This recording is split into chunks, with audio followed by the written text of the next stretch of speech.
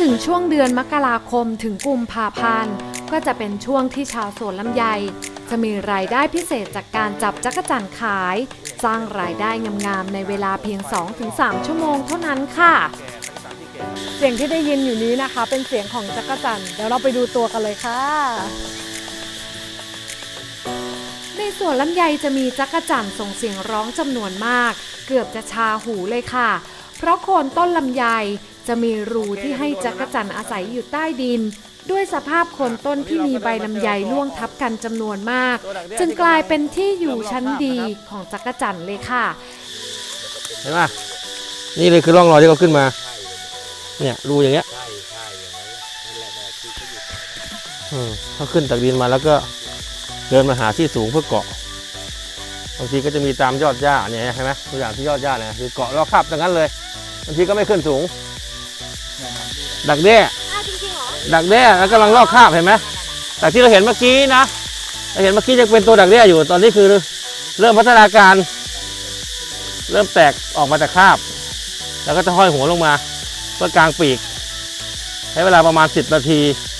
แล้วปีกก็จะเริ่มบานออกแล้ววนกลับมาดูอีกทีเราก็จะเห็นปีกเขาปล่อยมาเต็มเขาจะห้อยลงไปแล้วเขาเขาจะวนมาเกาะ นะห้อยลงไปจนหัวทิ่มมาแล้วก็จะวนมาเกาะเกาะอยู่กับคาบเขารอให้ปีกแข็งแรง แล้วก็ถึงบินขึ้นไปที่สูง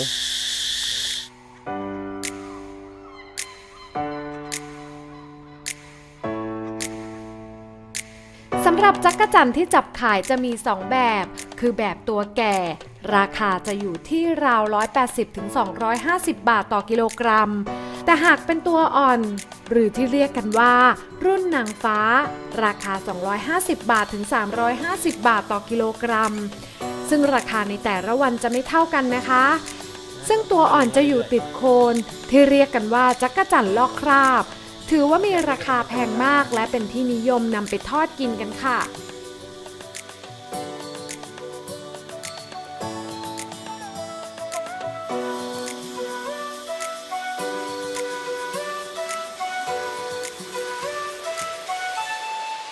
ล็ดลับในการจับจักรจั่นคือต้องมีไฟติดที่หัว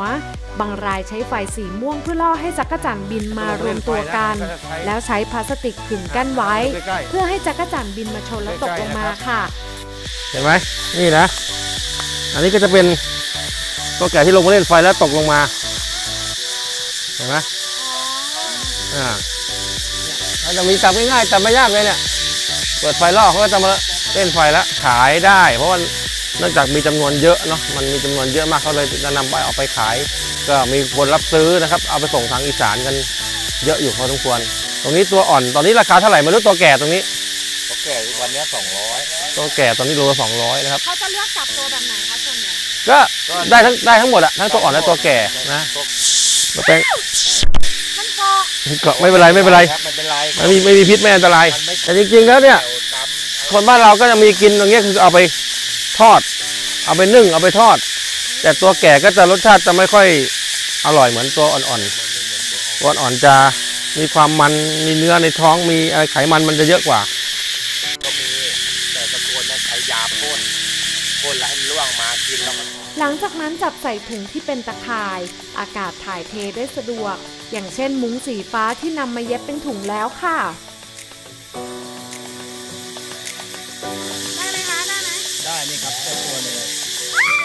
เคยไม่เคยจับ หลังจากจับแล้วเกษตรกรก็จะนำมาขายที่ตลาดจุดรับซื้อที่อำเภอสอยดาว ซึ่งไม่เกิน 22 นาฬิกา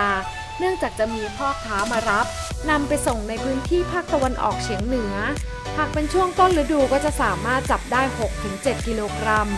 รายได้หลักพันเลยค่ะ เมื่อผู้บริโภคทราบว่า เป็นจักรจันทร์จากจันทบุรี ถึงกับแย่งกันเลยทีเดียวเชียวค่ะ